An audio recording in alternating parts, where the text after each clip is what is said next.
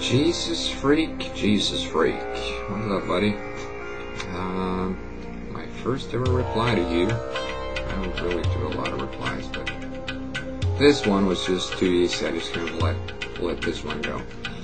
I got a couple of questions. Uh, my first one will start with your statement where you say Exodus 21, 26. The book of Exodus 21, 26 teaches that we are to treat slaves the same standards as other Israelites.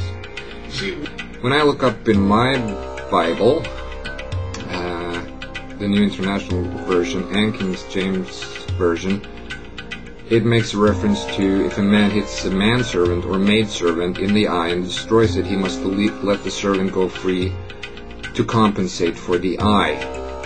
Exodus 21:26. So I don't know where you're getting that. Um,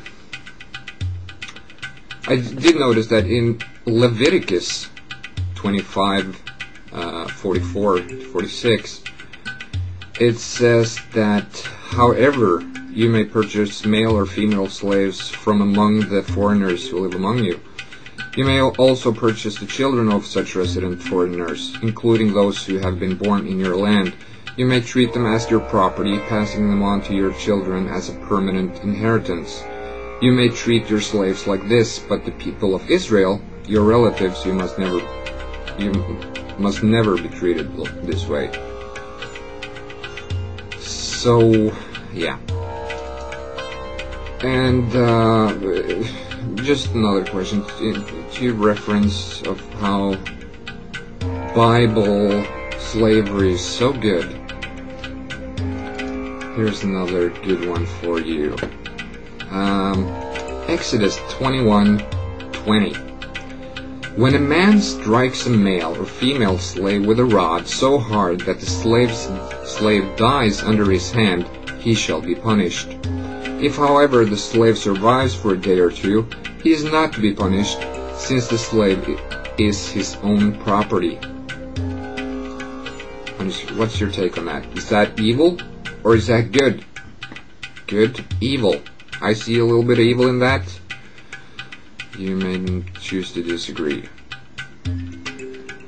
So, Jesus freak, you can't read your Bible, you can't reference correctly to your Bible, and you don't know that you can hit a slave, you can beat the shit out of a slave, as long as it just goes into coma for a couple of days.